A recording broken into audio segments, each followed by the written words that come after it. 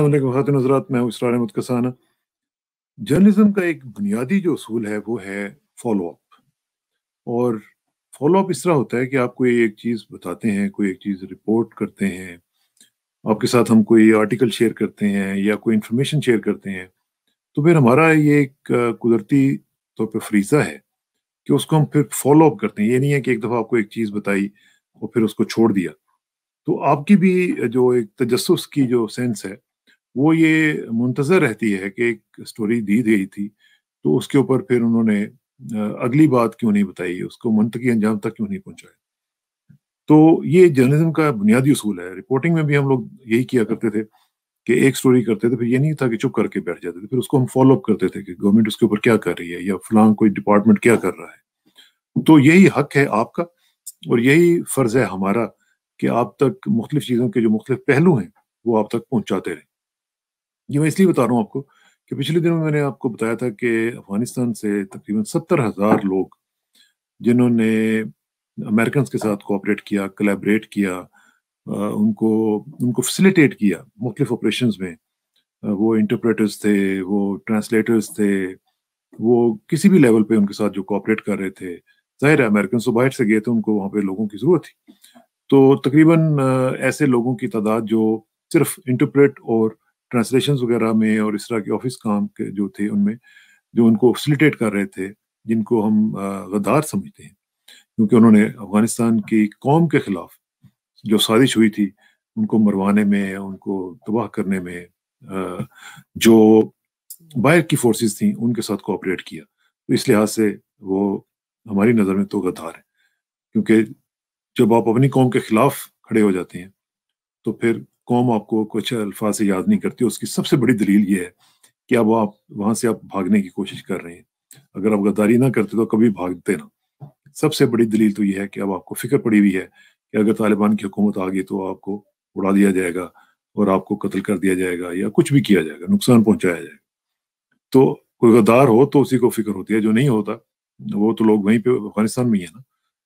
तो उनके बारे में मैंने आपको बताया था कि वो परवाज भरने के लिए तैयार हैं अमेरिका की।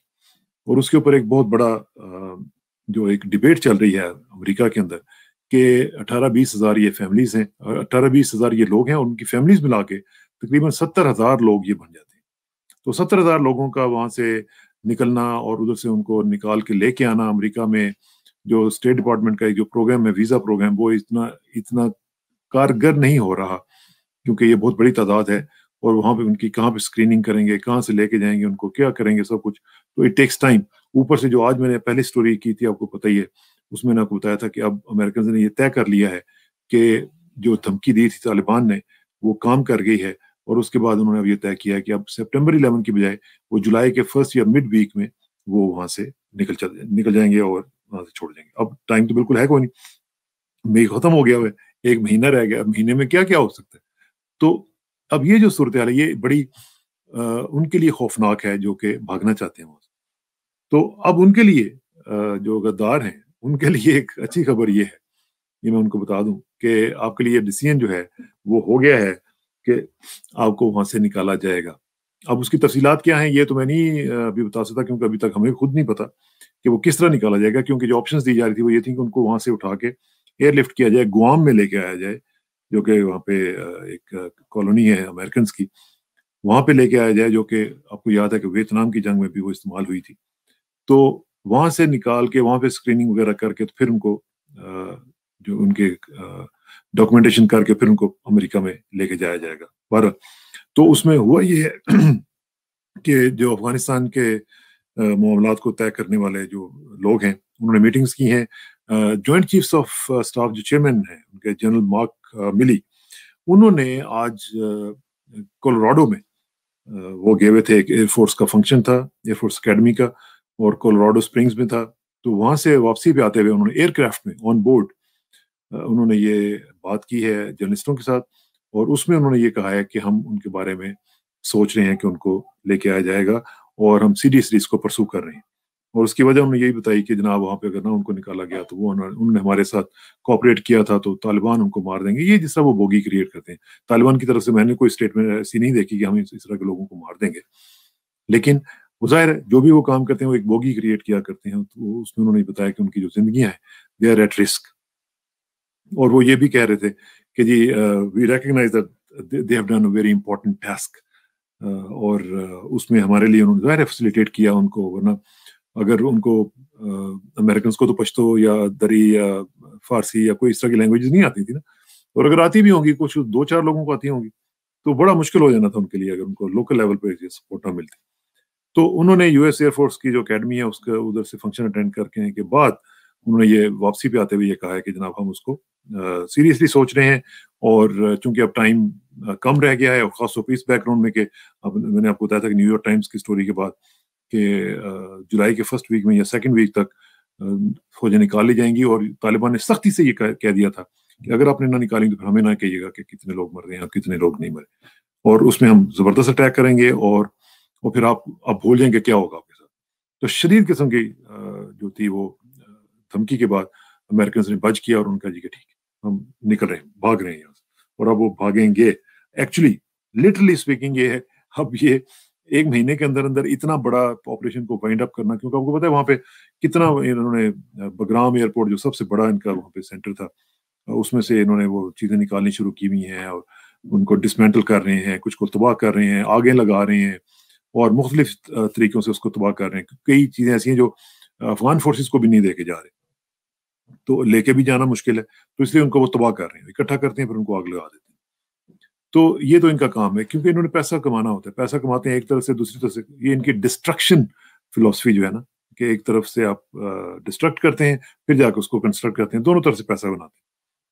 अच्छा दूसरी खबर जो आज मैंने अभी आपको इस वीडियो में देनी है, वो ये है कि टर्की को, अमेरिका ने एफ़ थर्टी फाइव की जो प्रोडक्शन थी, उसमें से बाकायदा तौर पर निकाल दिया। आपको याद होगा कि टर्की ने एस फोर हंड्रेड का जो सिस्टम था रशिया से, वो लेने का ऐलान किया था। याद है ना? ये बड़ा ज़बरदस्त सिस्टम है। और जैसे ही इन्होंने ऐलान किया था तो अमेरिका के पेट में बल पड़ने शुरू हो गए थे। और आपको याद है कि ट्रंप ने उसको कह दिया था अर्दवान को कि आपने अगर ये किया तो फिर आपके साथ हमारे मामला जो है, वो खराब हो जाएँगे।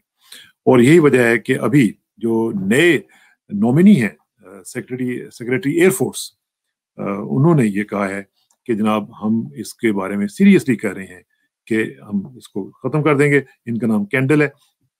और कैंडल साहब जो है उन्होंने ये कह दिया कि हम ये मामला जो है वो रोक रहे हैं और एफ़ थर्टी फाइव की जो परचेजेस हैं उन्होंने ये भी कह दिया कि हम अमेरिका भी आ, वो आ, इसको जो हमने तय किया था कि हम इसकी मजीद जो परचेज है वो नहीं करेंगे।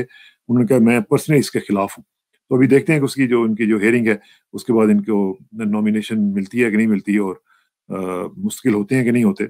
लेकिन बार उन्होंने ये कह दिया कि, अमेरिका जो है, वो प्रेस फॉरवर्ड करेगा टर्की का जो रोल है एफ़ थर्टी फाइव की ज्वाइंट स्ट्राइक फाइटर के उसमें, तमाम उसकी प्रोडक्शन वगैरह में उससे तमाम जो उसके मामला वहाँ पे हो रहे हैं, उसमें से हम उसको निकालने की बात करेंगे। और ये उन्होंने कल बात की है हेयरिंग के दौरान। और ये बहुत ही इंपॉर्टेंट हेयरिंग थी। आपको पता है कि टर्की जो था, ये 2019 में एफ़ थर्टी फाइव प्रोग्राम से उसको निकाल दिया गया था। और ये बड़ा एक इंपॉर्टेंट डिसीज़न लिया गया था क्योंकि ऑब्वियसली टर्की नेटो का मेंबर है और मेंबर होते हुए किसी को इस तरह करना ये बड़ा मुश्किल होना था उनके लिए। लेकिन उन्होंने किया क्योंकि वो ये समझते थे कि रशिया का जो एस फोर हंड्रेड प्रोग्राम है, वो कंपेटेबल नहीं है कि इस इस तरह की टेक्नोलॉजी वो दोनों तरफ़ से वो, उनका भी टेक्नोलॉजी लें और हमारी टेक्नोलॉजी के साथ भी काम करें। तो ये बड़ा मुश्किल था। क्योंकि 2017 में जब ये डिफेंस सिस्टम का ऐलान किया गया था टर्की की तरफ़ से तो बड़े बहुत ही ज़्यादा कंसर्न शो किए गए थे अमेरिका की तरफ़ से। तो अब उन्होंने ये कहा है कि हमने इनको वॉर्न किया था। अभी भी हम वॉर्न कर रहे थे, लेकिन टर्की ने हमें बता दिया कि जनाब नहीं। और ये रिसेंटली जब से एडमिनिस्ट्रेशन बाइडन साहब की आई है, उन्होंने भी आके कोशिश की कि टर्की को समझाने की कि आप ये काम ना करें, आप वो जो उसकी यूएस उनकी जो एस फोर हंड्रेड की सेल है, वो रोक दें उनको ना खरीदें, क्योंकि ये हमारे लिए मसला बन जाएगा।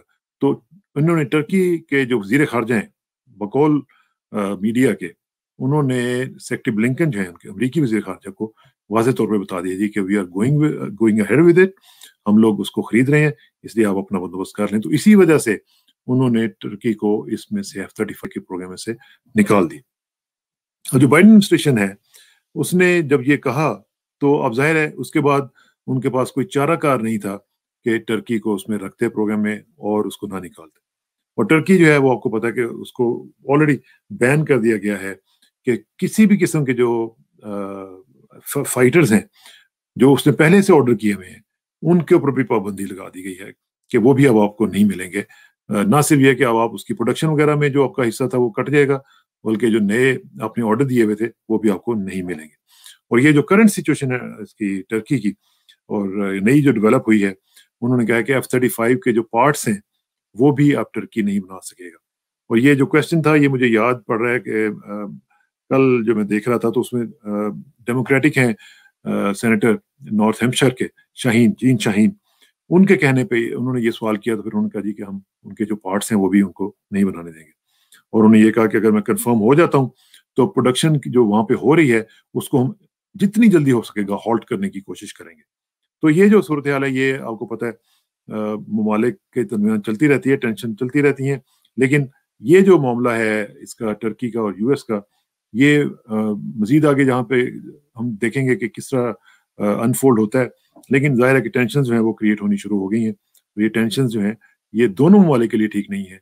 और खत्े के लिए तो बिल्कुल ठीक नहीं है क्योंकि वहाँ पे मामला जो है वो किसी वक्त भी खराब हो सकते हैं। और टर्की जो है आपको पता है अर्जवान की जेर क्यादत वो अपने फैसले खुद कर रहा है वो किसी से पूछते नहीं है। तो मेरा ख्याल है कि ये मैसेज हमारे लिए भी है कि हमें भी अपने फैसले खुद करने चाहिए और हमें भी आ, किसी से डिक्टेशन लेने की ज़रूरत नहीं होती। हमें भी अपने जो स्ट्रेटेजिक इशूज हैं वो खुद डिसाइड करने चाहिए। बहुत बहुत शुक्रिया। इंशाल्लाह आपसे मुलाकात होगी। असल वालेकुम रहमतुल्लाहि व